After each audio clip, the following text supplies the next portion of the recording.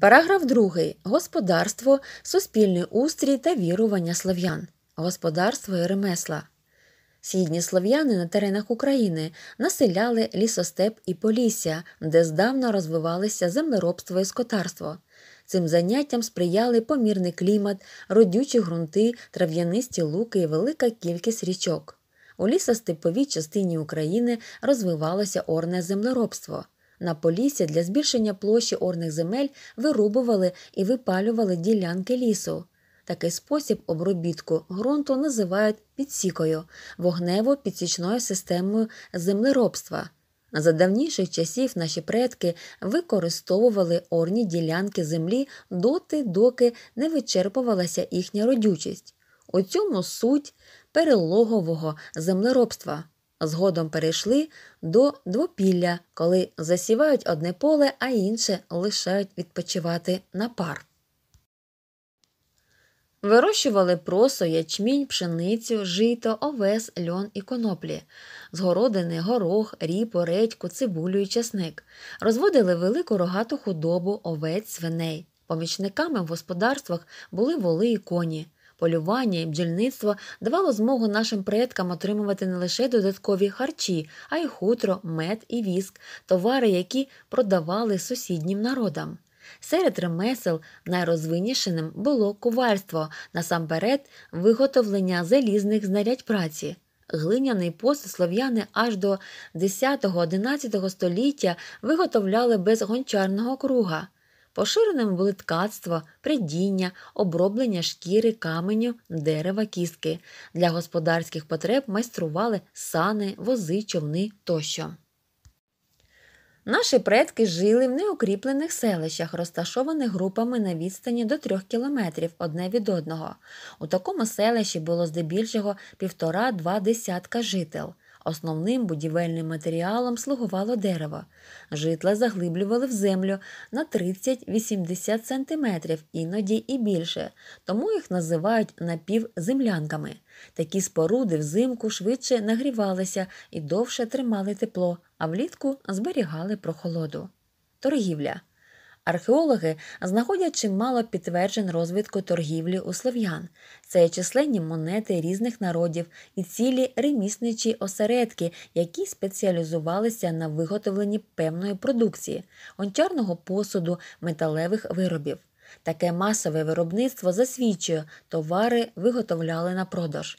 Слов'яни торгували з населенням Подунав'я Центральної Європи і Балтії.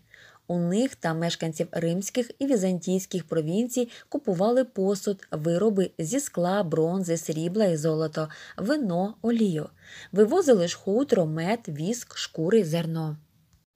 Слов'яни жили як окремі племена, що їх очолювали обрані громадою вожді. Вождів обирали з поміж вихідців із найвпливовіших сімей. Саме за вождями закріплювалася верховна влада. Вожді також розподіляли надлишок виробленої продукції, організовували оборону під час воєнних дій, споряджали військо. Згодом влада вождів стала спадковою. Коли з'являлася потреба боронитися від сильного ворога, слов'янські племена об'єднувалися у великі військові союзи союзи племен. Розповідаючи про східних слов'ян, літописець не вживав терміни племінні об'єднання або союзи племен, а послуговувався словом княжіння, тобто володіння князя. А по сих братах почав рід їхній держати княжіння в полян. А в деревлян було княжіння своє, читаємо на сторінках повісті минулих літ. Тож іще в переддержавні часи слав'янських правителів стали називати князями. За умов постійних нападів кочовиків вплив військових вождів князів посилювався, натомість значення народних зборів віча, що зазвичай вирішували найважливіші суспільне політичні питання, поступово зменшувалося. Слав'янські князі мали віддане оточення воїнів-дружинників. До дружин відбирали вихідців із шанованих близьких до князя родин. Основним заняттям дружинників була служба в князівському війську, за що вони отримували щедру винагороду. Тож, на відміну від давніших часів, коли воїнами за потреби ставали всі дорослі чоловіки племені, землероби, ремісники, дружинники були професійними вояками. У 8-9 століттях поступово в окрему верству виділилася племінна верхівка, військова знять, князі, дружинники. Вона зосередила у своїх руках владу в племінному об'єднанні. Князі прагнули передавати владу нащадкам, створюючи місцеві династії. Знать оселялася у великих племінних центрах, городищах, укріплених поселеннях, фортецях, які з часом перетворювалися на міста. Найбільше відоме сьогодні городище Зимнівське було нещодавно знайдене археологами неподалік Володимира Волинського, Волинська область. Городище, ймовірно, було центром Доліпського племінного союзу. У сьомому столітті він об'єднав мешканців Дніпровського правобережжя полян, деревлян, хорватів, уличів, тиверців. Згуртувавшись у міжплемінний союз, східнослов'янські племена, предки українців, намагалися захиститися від нападів кочовиків. Літописець розповідає про долібів, а зокрема у зв'язку з походами на слов'янські землі кочовиків аварів. Проте доліпському об'єднанню не судилося стати державою. Коли воно розпалося, центр державотворення з Волині перемістився середнє Подніпров'я до Києва. На основі археологічних даних у ХХ столітті було розшифровано прослов'янський календар. Визначено, що місяць у наших предків тривав близько 25-28 днів. В основі календаря лежав сонячно-місячний цикл. Календарем послуговувалися племена антів і склавинів. Загалом у слов'ян не існувало поняття Новий рік. Наші предки були землеробами, тому рік для них визначав цикл сільськогосподарських робіт. Кінець і початок календарного року, тобто календарне коло, починалося в березні, коли прокидалася природа. Цей період люди відзначали як початок нового літа, новоліття. Роки рахували літами. У давніх писемних джерелах усі історичні події вели від літа такого то року, звідси слова літопис, літописець, літочислення. Звичаї традиції та світоглядні уявлення слов'ян. У писемних джерелах візантійського походження збереглися свідчення про зовнішній вигляд та звичаї слов'ян. У працях Маврикія, Стратега та Прокопія Кесарійського читаємо, що слов'яни зазвичай були високі на зріст, міцні тілом, надзвичайно сильні, легко переносили спеку і холод, дощ, брак їжі. Вони мали білий колір обличчя, волосся не русяве і не чорне, а родувате.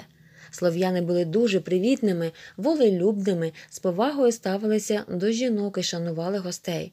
У походах витривалі, у боях хоробрі. Племена слов'ян були схожі між собою мовами, способом життя, звичаями, надзвичайно цінували свободу, не давали нікому себе підкорити, їх не можна було примусити до рабства, зазначають візантійські джерела. Маврикій стратег засвідчував, що слав'яни перевершували у військовій справі усіх людей. Вони не носили панцирів, зі зброї використовували щити, бойові сокири і списи. Особливо мужньо витримували перебування у воді, лежачи на дні річки та дихаючи через очеретину. Використовували дерев'яні луки з невеликими стрілами, змоченими спеціальною сильною отрутою. Поранений слов'янською стрілою мав вчасно прийняти протиотруту, інакше на нього чекала смерть. Східні слов'яни були язичниками. Язичництво релігійні вірування, що передбачали поклоніння силам природи, тваринам та рослинам, а також віру в існування людиноподібних істот, русалок, берегинь та інші. У слов'янському світогляді існувала трищаплива побутова світу богів, небесний світ між небом і землею підземний, де на кожному рівні розміщувалися боги, що конкурували між собою. На чолі найвищого небесного світу стояли боги сварог і стрибог. Похмурий стрибог уособлював темні буремні сили, які могли обернутися як добром, так і злом для людей. Натомість сварога пов'язували з ясним, спокійним, доброзичливим до людей небом. На середньому рівні богів, тобто між небом і землею, розташовувалися сини цих богів Дажбог, син сварога, та Перун, бог громовиці, син Трибога. Дажбог був богом сонячного світла, а також вважався покровителем хліборобства. Сивобородий переможець демонів Перун Громовик їздив небом на колісниці. Слідом його колеса на небі була блискавка, грім звук його колісниці, а колесо сонячний диск. Перуну про праслов'ян був покровителем воїнів і з часом перетворився на улюбленого бога. Дружиною сварога, а також богиною родючості, рукоділля і мистецтва слов'яни вважали мокош. Однією з головних постатей нижнього світу був Велес, господар підземного царства. Велеса вважали противником Перуна, провідником душ померлих до потойбіччя. Зі змінами в господарстві та суспільно-політичному житті слов'ян змінився і культ Велеса. Його стали вважати богом скотарства, торгівлі і ремесел. Підземний світ населяли напівбожественні істоти думовик, лісовик, водяник, мара, вій, упирі, русалки, мавки. Для вшанування богів слов'яни споруджували святилища, капища. Зазвичай вони стояли просто неба у центрі, розташовували жертовники та масивний стовп, на якому стояв ідол. На святилищах, капищах порядкували служителі язичницьких обрядів волхви, їх вважали знавцями таємниць природи, посередниками у спілкуванні з богами.